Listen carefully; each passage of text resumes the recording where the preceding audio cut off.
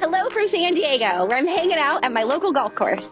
As a sports fan and tech enthusiast, I'm thoroughly enjoying the convergence taking shape at the PGA Championship in Valhalla this week. Throughout the tournament, T-Mobile for Business is deploying cutting-edge 5G solutions to elevate the fan experience for the millions watching at home, like me.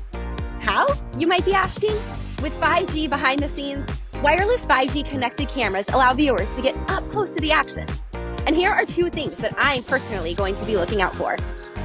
One, enhanced views of the iconic Hole 13. For the first time ever in golf, 5G will be implemented in a live broadcast.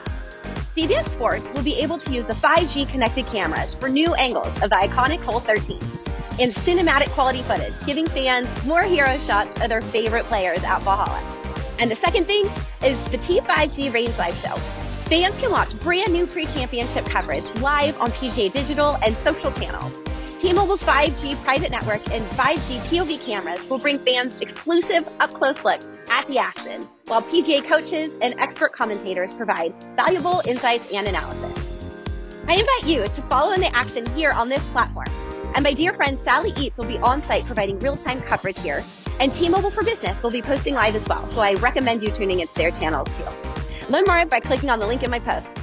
See you on the virtual green.